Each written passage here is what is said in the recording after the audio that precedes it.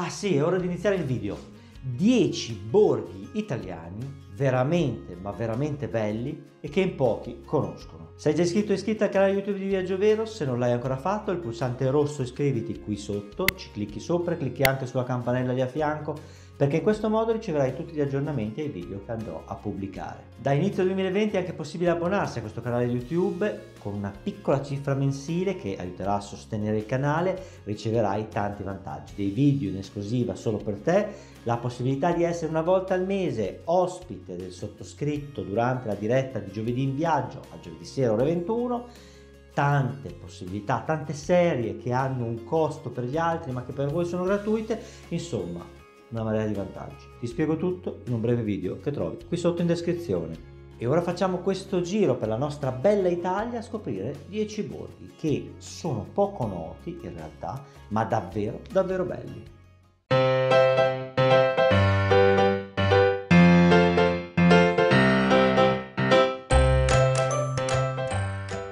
Faccio un pochino di premesse prima di partire. Allora, intanto io ti dico il borgo che è bellissimo e va visitato, ma non dimenticare anche tutta la zona limitrofa, tutta la zona e i paesini intorno a quel borgo, perché se quel borgo è molto bello, anche tutta la zona intorno merita davvero una visita. Seconda premessa e poi partiamo, era chiaramente impossibile nominarli tutti, ne nomino 10, quindi 10 anche zone però ce ne sono tantissime. Ho cercato di andare da nord a sud dandotene 10, dandoti 10 idee.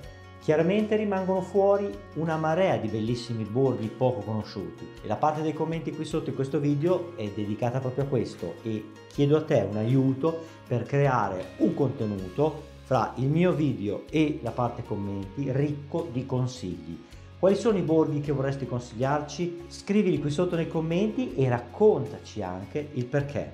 Partiamo dal Trentino con Tenno e il suo lago. Siamo a due passi da Riva del Garda, quindi siamo anche vicino al lago di Garda.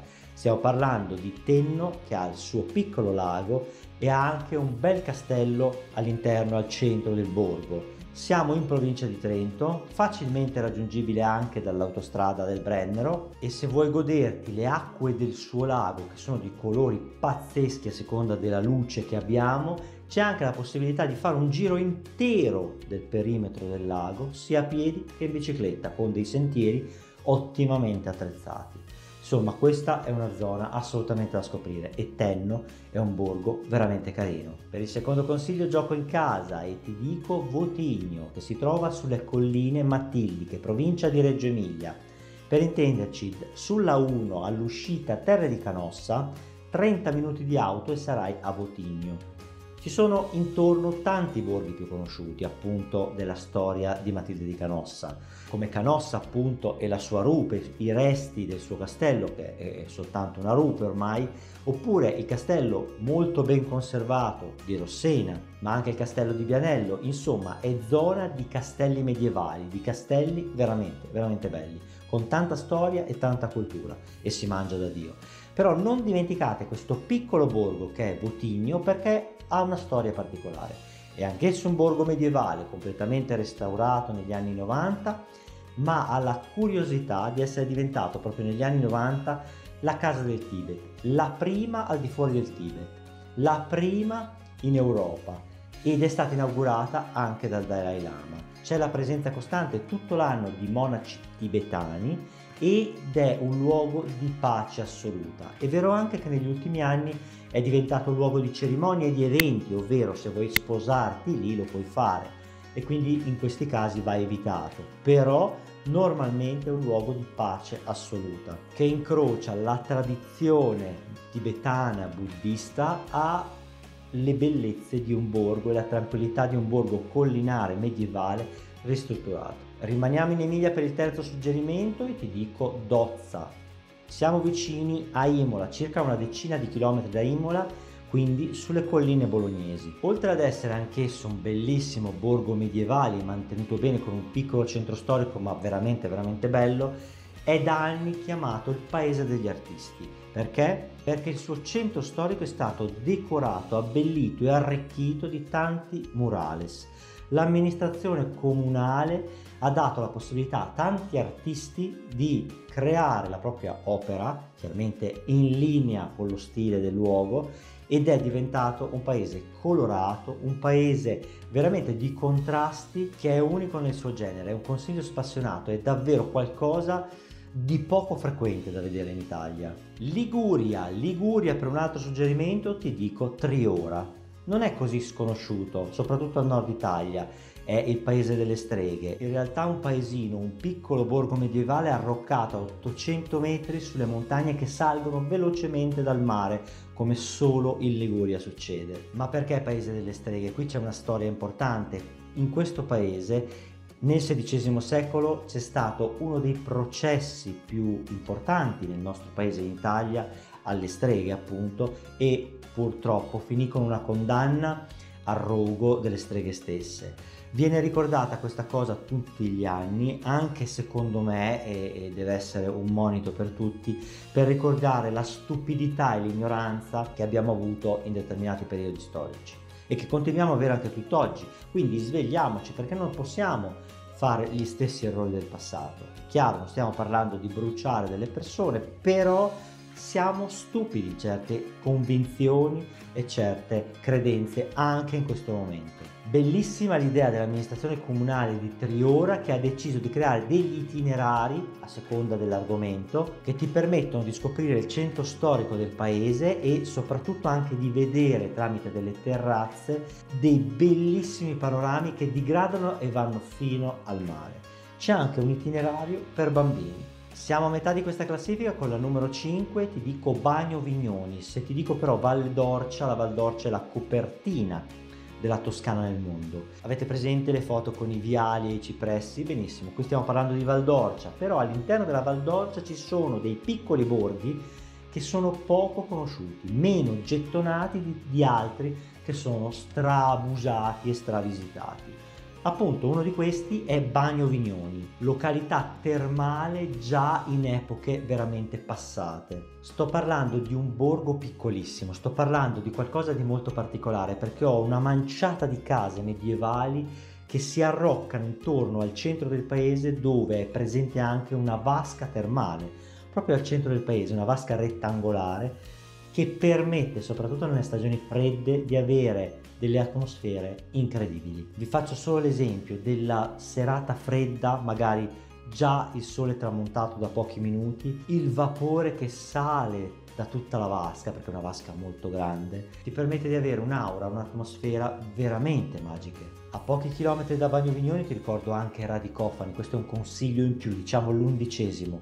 Sempre in Val d'Orcia, un borgo poco conosciuto, soprattutto per chi non frequenta la via Francigena, ma è un borgo di un'importanza storica con una storia incredibile. Vi dico solo Ghino di Tacco che comandava in questo borgo, ma non vi dico altro, voglio che andiate ad approfondire la storia di Radicofani e dei suoi personaggi. Numero 6, Rocca Scalegna. Siamo in Abruzzo, in provincia di Chieti, fra le vallate del fiume Sangro. Abbiamo un castello, Rocca Scalegna, il castello di Rocca Scalegna, che sembra direttamente, e non lo dico tanto per, per, esagerare, sembra direttamente uscito da un film fantasy, da una serie, da qualcosa di medievale e non toccato e non costruito. È proprio così. Ti faccio un piccolo spoiler, qui andrai a scoprire la storia di Corvo de Corvis e dell'editto dello Ius Prime Noctis e di come un marito si travestì da sposa novella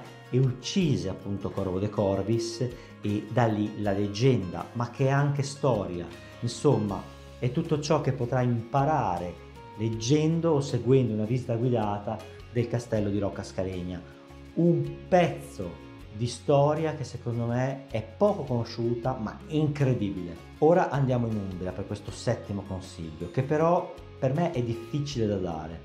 Parlo della scarzuola Cos'è la scarzuola? Veramente non voglio non dirti nulla, ma cercala in rete. Siamo nel comune di Montegabbioni e la scarzuola è un luogo che io non so come altro definire se non magico, esoterico, un luogo pazzo. È nato dal genio e follia di Tommaso Buzzi, che è un famoso architetto milanese. Lui qui alla Scarzuola ha creato la sua città ideale. Qui c'erano due strutture esistenti, vecchie, un santuario e un'altra struttura e lui intorno vi ha creato la sua città ideale, ricca di rimandi esoterici, ricca di rimandi energetici, insomma, lo ripeto, non è facile da spiegare. Insomma, non so veramente che cosa dirvi della Scarzuola perché è un luogo talmente particolare che o vi rimane dentro quando lo visitate e diventerà uno dei vostri luoghi del cuore, come è successo per me, oppure non lo capirete, ma non è che non lo capirete perché non avete le capacità per capirlo, no, è perché è un luogo che potete non accettare. È un luogo davvero particolare che, vuo, che può anche mettervi in crisi mentre lo visitate. Lo so, sembrano parole al vento, ma va visitato, cioè se provate a visitare la scattuola, poi mi saprete dire. E ora andiamo in Lazio, nel cuore della Tuscia, siamo a Bomarzo un altro luogo assolutamente particolare che può essere etichettato come luogo per bambini, ti parlo del Parco dei Mostri di Bomarzo, il Sacro Bosco come veramente si chiama di Bomarzo, dove sono stati inseriti una marea di strutture di pietra veramente iconiche, simboliche, esoteriche. Anche qua o lo si prende come quasi un parco per bambini, un'attività per bambini e diventa divertente, oppure si scava un po' più a fondo e si va a capire i significati nascosti fin dove si può di queste opere, perché non sono opere così banali, non sono opere così fanciullesche, ma sono opere cariche di un'energia e di un simbolismo veramente forte. Scendiamo dalla nostra penisola e andiamo in Puglia. Cisternino. È vicinissimo a luoghi super conosciuti, ad esempio come Alberobello, straconosciuto, oppure la bellissima Ostuni, altrettanto conosciuta. Cisternino è conosciuto un po' meno. Era salito in realtà agli onori delle cronache qualche anno fa, precisamente otto anni fa, quando il calendario Maya ci diceva che doveva finire il mondo nel famoso 2012 si era diffusa la voce anche all'estero che Cisternino per una sorta di incrocio energetico fosse uno di quei luoghi che si sarebbe salvato dalla fine del mondo. Vabbè, tutte fandonie, non è finito il mondo e non finirà, ma Cisternino rimane in realtà un borgo da visitare perché ha un centro storico bianco accecante con le sue case classiche una cucina pazzesca perché siamo in Puglia e ci possiamo godere una cucina pazzesca, siamo a due passi dal mare anche, è proprio il mare che puoi vedere in lontananza dalle tante terrazze del paese ma che in primis ti danno un'occhiata pazzesca su tutta la Valle d'Itria, sui vari uliveti e su tutto ciò che incarna e definisce la Puglia, regione di una bellezza quasi accecante. Per l'ultimo borgo ti porto in campagna, a Sant'Agata de Goti, Piccola premessa, è l'unico borgo di questi dieci che non ho mai visitato. Non ho mai visitato ma ho inserito perché sono stato spinto a inserirlo da conoscenti di cui mi fido tantissimo e che mi hanno detto la devi inserire in una classifica di borghi poco conosciuti perché questo merita davvero.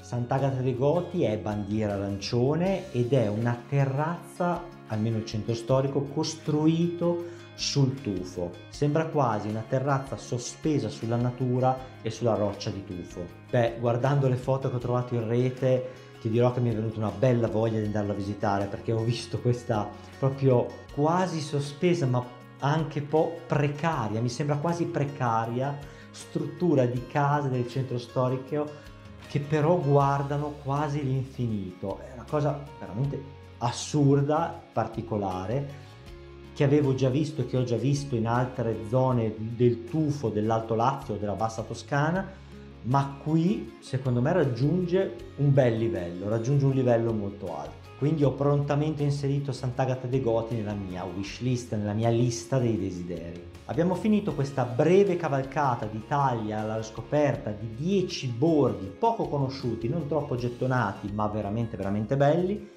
come ho detto all'inizio, è una lista in divenire. Mi raccomando, aggiungi quelli che vuoi qui sotto nei commenti, spiegaci perché, perché voglio che questo video diventi proprio una raccolta importante di consigli e di idee di viaggio. Ti ricordo di iscriverti al Mondo Viaggio Vero con il link che trovi qui sotto, completamente gratuito e anche qua ci sono tanti tanti tanti vantaggi. Chiudo con i miei social media, la pagina Facebook di viaggiovero.com, fai mi piace e diventa fan anche lì. Su Instagram mi trovi come chiocciola Viaggio Vero e ci sono anche le storie giornaliere dove parlo di altri argomenti rispetto a quelli che trovi qui sul canale YouTube.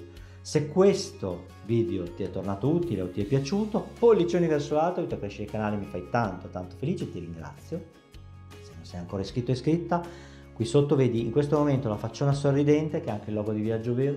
Ci clicchi sopra e clicchi anche sulla campanella lì a fianco perché in questo modo riceverai tutti gli aggiornamenti e le notifiche ai video che andrò a pubblicare. Ciao da Cristiano di Viaggio Vero.